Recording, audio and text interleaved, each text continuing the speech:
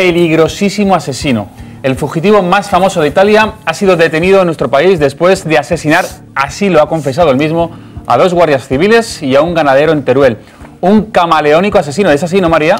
Son las mil caras, David, Norbert Feger. Vamos a mostrarles tres de ellas, varias de ellas, aquí las tienen, Igor el ruso, el fantasma, Ezequiel, así hasta 18 identidades ha llegado a tener el asesino que ha dejado un reguero de sangre en Teruel tras ser el terror de los agricultores del norte de Italia, donde torturó a ancianos y mató a varias personas antes de llegar aquí, a España.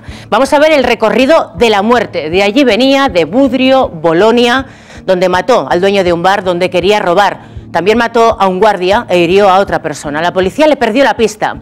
Se ha investigado si antes de llegar al pueblo trulense de Andorra pasó por Susqueda. Se ha investigado si tiene algo que ver con el doble crimen del pantano de Susqueda, donde acabaron con la vida de los jóvenes Mark y Paula. De momento la policía parece que lo descarta.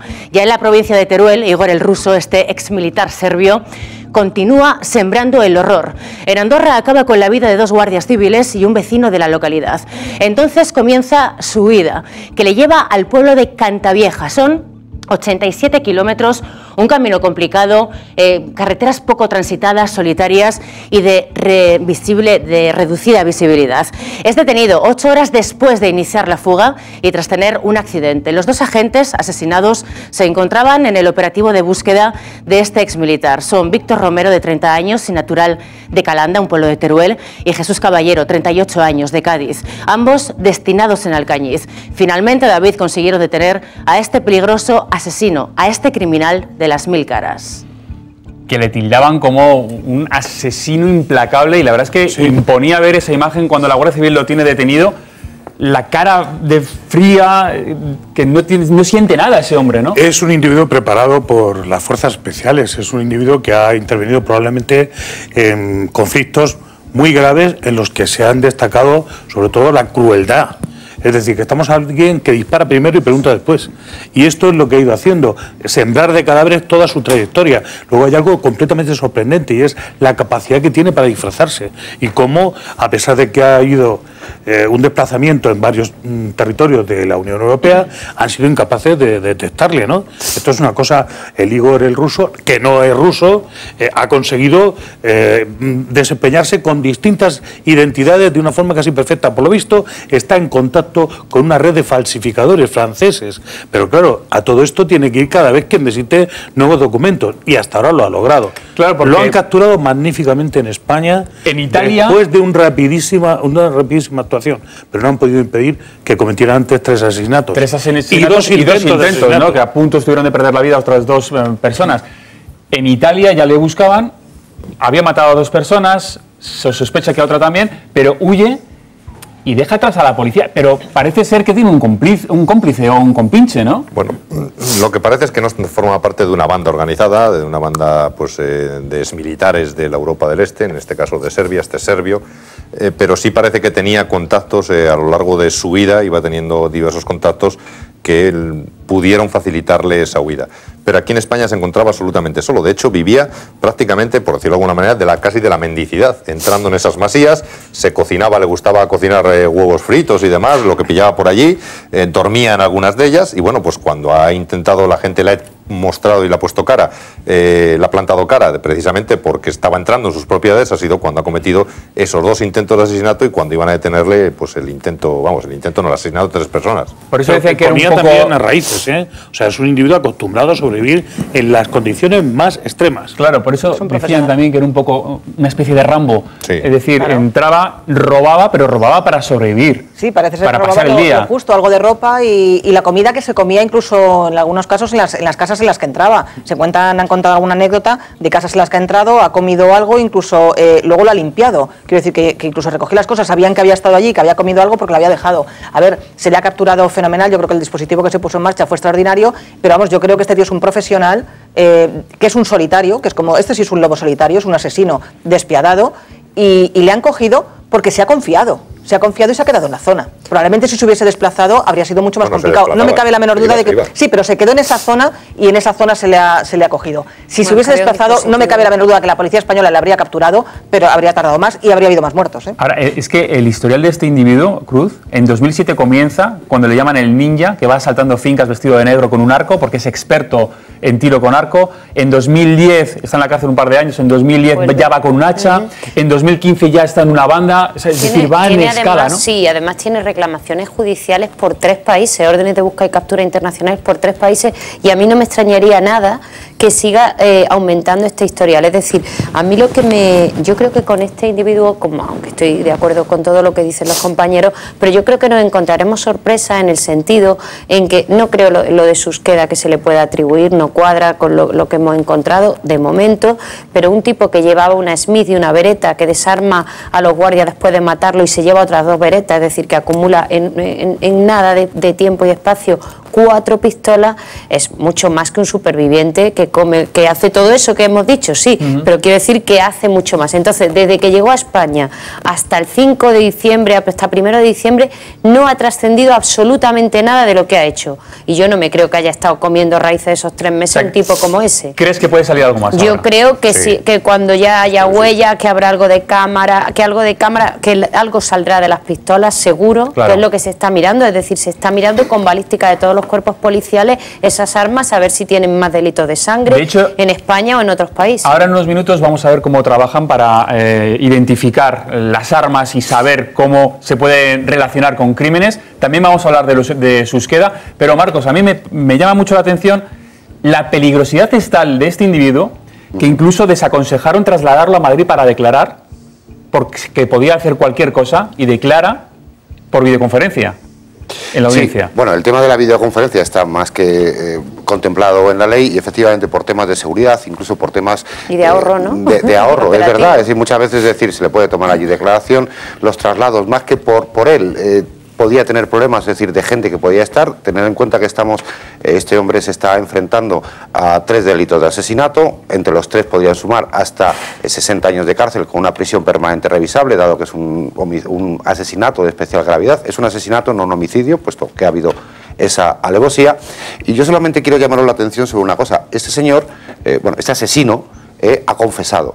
La confesión supone un atenuante en esas penas, supongo que lo habrá hecho por ello. Pero eso no significa que no tenga que la Audiencia Nacional, la Guardia Civil, la, toda la, investigación tenga que probar que él es el autor real. Es decir, la confesión no implica necesariamente la, autoría. Es decir, que ahora se abre un proceso. han cogido las pistolas. Sí, pero se abre un proceso evidentemente más corto, puesto que él va a dar todos esos datos. Va Porque va a facilitarlo, pero ahora sí hay que investigarlo y hay que comprobarlo. pero vamos, es tan peligroso este individuo que las medidas en la cárcel son especiales. Lo ha dicho Julio Esteban, es el director del Centro Penitenciario de Teruel.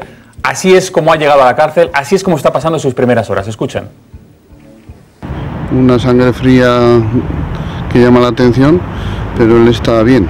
Nosotros le hemos aplicado el, régimen propio de unas características propias de, esta peligrosidad que tiene este individuo, de un régimen cerrado efectivamente. Él come en la celda y tiene una relación mínima ya con los propios funcionarios, ninguna con ningún interno, salen unas horarias determinadas, también las mínimas al patio, todavía no ha salido, pero cuando salga efectivamente tiene que salir solo. Él no va a tener ninguna relación con ningún otro interno FIES. Es decir, lo que han hecho es un FIES que... Un FIES preventivo. Un FIES preventivo, que además es muy curioso, pero sí existe... Seguimiento. Ojo, vamos a ver, en la Gürtel, cuando ingresaron los tres de Valencia, les nombraron FIES, también eran preventivos. Pero, o sea, pues, motivo, pero son motivos totalmente diferentes. Totalmente distintos. Entonces, pero ojo, a este señor se le ha aplicado el FIES, el fichero de especial seguimiento, que se llama de más alto grado de seguridad, que es prácticamente el aislamiento, el aislamiento del resto de la población reclusa por una cuestión, evidentemente, de seguridad. pero en este caso es seguridad de los demás para él o para el resto de reclusos? yo creo que están valorando la posibilidad de que pueda fugarse. Evidentemente un tipo que sabe manejarse así por el monte, que sabe usar todo tipo de arma y actuar con esa frialdad que no tardó ni 30 minutos en asesinar a tres personas, sabiendo que había un montón de patrulla alrededor de él, es decir, tiene todas las papeletas para que intente. Este no se suicida, Marcos. Este, esta personalidad no es una personalidad suicida en absoluto. Ahí lo que se ha visto, desde luego, no parece que tenga muchos sentimientos de, no de culpabilidad, de nada. Acordaros del último juicio. Acordaros del último juicio del Tribunal Internacional que al final del juicio se suicidó y ese tampoco, ese es del mismo corte que este serbio bosnio, ¿no? Es, Vamos con, con María porque este triple asesinato sin duda ha conmocionado a los vecinos de la zona, ¿no? Ha sido, David, y está siendo ¿eh? un auténtico mazazo para los vecinos de esta zona del Bajo Aragón que han quedado hundidos en la mayor de las penas tras estos crímenes. Podemos hablar con Sofía Ciércoles, ella es alcaldesa de Andorra, localidad de donde era José Luis Iranzo, una de las víctimas. Alcaldesa, señora Ciércoles, buenas noches. Hola, buenas noches. Bueno, lo primero de todo, trasladarle nuestro pésame, nuestras muestras de cariño en estos momentos tan complicados. José Luis Iranzo era un vecino muy querido. Sí, era un vecino muy querido, una persona entrañable, amigo de los amigos, que participaba y era persona activa en multitud de eh, asociaciones, eh, que siempre que se le llamaba lo teníamos a disposición y cuando había un problema, antes de que tuviéramos que llamarle, él siempre estaba allí. Y como no, pues una persona humilde eh, que heredó el legado evidentemente de su abuelo, el pastor de Andorra, hijo predilecto de Andorra, y sin lugar a dudas un ciudadano grande por dentro y grande por fuera que ha dejado un vacío que no vamos a poder recuperar. ¿Cómo han sido, están siendo estos días de luto? ¿Cómo ha respondido el pueblo? ¿Cómo ha sido el funeral? Andorra, tengo que decir que ha demostrado estar a la altura, que ha sido una localidad grandísima porque ha vivido momentos muy duros, momentos complicados, momentos que todavía no hemos asimilado y todavía no hemos digerido. Eh, hemos terminado un duelo a las 12 del mediodía con banderas a media asta y que aún sentimos esos escalofríos eh, porque no damos crédito a lo que ha sucedido. Las preguntas están en el aire y esto pasa en la ficción, pasa en una película y te lo puedes creer, pero que nos pase en una localidad como Andorra donde eh, nunca pasa nada, esto es impensable, ¿no? No, no, no hemos reaccionado todavía de lo que nos ha sucedido porque sin duda, sin duda es un hecho histórico que no vamos a poder olvidar nunca los andorranos. ¿Cómo se entera usted, alcaldesa? ¿Cómo se entera de la noticia? Pues estábamos en un acto público en el cual pues eh, acababa de decir en el escenario a la ciudad de Andorra que Andorra tenía que salir en los medios de comunicación dando noticias como la que estábamos dando en ese momento. Estábamos dando el premio a la cultura a un andorrano excelente por su trayectoria a lo largo de 90 años en el mundo musical y fue bajar del escenario y encontrarme con infinidad de llamadas en el móvil que algo algo eh, algo urgente algo algo había pasado en Andorra y no daba crédito a lo que estaba escuchando. Usted es alcaldesa de Andorra, pero el terror se ha extendido a otras zonas como Calanda, El Cañiz. Eh, ¿Cómo está ahora mismo el pueblo? ¿Cómo está la zona del Bajo Aragón? ¿Hay temor después de estas horas tan terribles? Pues em, primero estamos muy tristes, estamos desconsolados, eh, pero estamos unidos y yo creo que esto es lo principal, ¿no? El temor en el momento que lo detienen y, dan la, información oficial desde los cuerpos de la Guardia Civil, pues Andorra descansa, ¿no? Pero sí que es cierto que Andorra y su comarca han estado unidos eh, en un momento tan difícil, pues para estar cerca de las familias, cerca de los amigos, tanto de José Luis Iranzo como de Víctor Romero o de Víctor Caballero.